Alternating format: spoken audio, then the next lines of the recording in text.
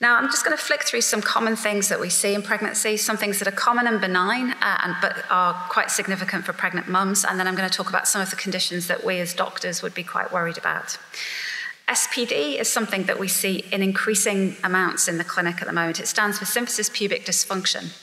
And it essentially occurs because during pregnancy, the placenta releases several hormones, one in particular, which softens all the ligaments in the pelvis and allows the pelvic bones to ever so slightly stretch and separate to allow the baby's birth, uh, to, to, allow the baby's head through during, during birth.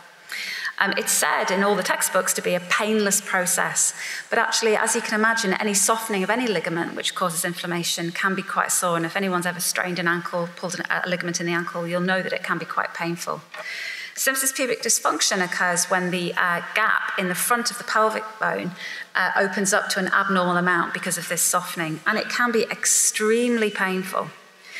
Treatment of SPD is difficult because it gets better after the pregnancy, but if it starts early in pregnancy, it tends to get worse. And the only really effective treatment is to rest. Um, we advise that women um, avoid long walks or uh, significant lifting and carrying, and also repeated stepping over things. So, going upstairs is a particularly bad exercise. Um, we advise that they avoid straddle movements where the uh, thigh bones are separated significantly and the pelvis is put under, under significant pressure. Many women find that turning over in bed is really difficult, um, so we often advise to keep their, uh, advise them to keep their legs glued together, or even put a big pillow between their legs to support their pelvis.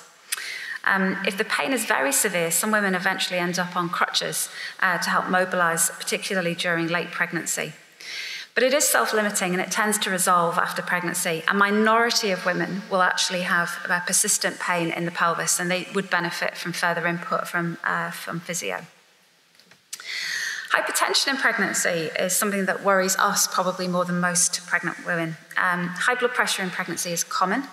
About 10% of all pregnant women will have at least one episode of high blood pressure on at least one occasion. Um, and if it's just a one off episode and it's not particularly high, then there is nothing to worry about at all.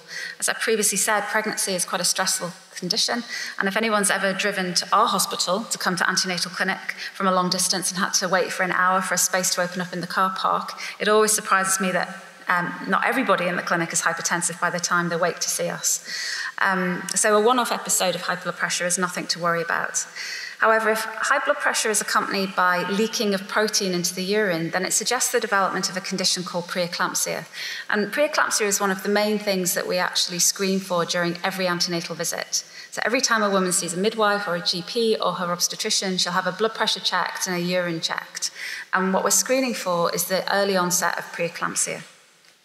Preeclampsia affects about 3% of first time mums. It's much less common in second time mums. And it's more common in older mums, mums who are overweight at the start of pregnancy, mums who have high blood pressure or other medical conditions to start with, and mums who are expecting twins.